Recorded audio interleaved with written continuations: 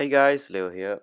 This is um first of all I am very sorry about not uploading um last week. It's almost been three weeks since um, my last upload.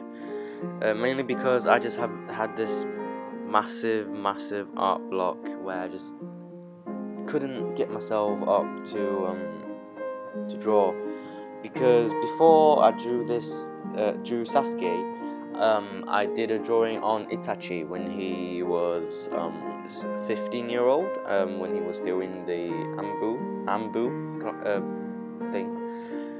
And um, the drawing inking turned out perfectly, but when I come to water, when I came to watercolor, I, I just, I just couldn't get the color right, and I got really, really frustrated, and um, so I just stopped for a week or so and um, since then I've been working. Re- since then, after that, I started working on this Sasuke drawing, but the, the pro- progress was just so slow.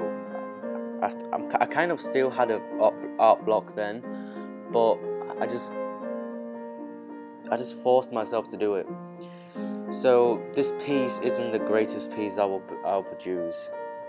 Um, another reason is because the paper um, isn't doing what I want what I wanted to do. I was working with the paper, going with the flow, and I was working against it. It just the color just didn't turn out right. So and in the end, I had to use Copic markers to actually fix some of the shadings and stuff like that.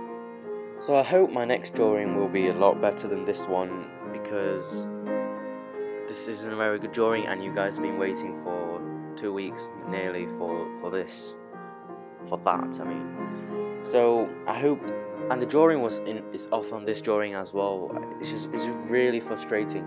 It turned out okay. Um, one to ten, I'll give it a four, but just nothing worked well. So I'll get I get the paper that I usually use to do my watercolors because this is a brand new paper. I don't know why it's not doing what I wanted to do, but I guess I have my personal issues as well, so it's just not, it's, it's not just the paper that's not that's it's not it's, it's, it's not just the paper's fault. It's my fault as well. So yeah, I hope next next drawing video I'm probably gonna redraw Itachi. Um, so I hope that turns out well. But I don't know.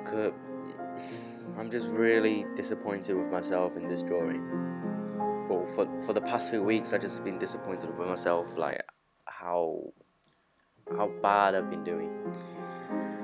And uh, yeah, I guess this is it for today's video, guys. Please like, comment, and subscribe if you want more. And don't forget to check out my Facebook page, links in the description below.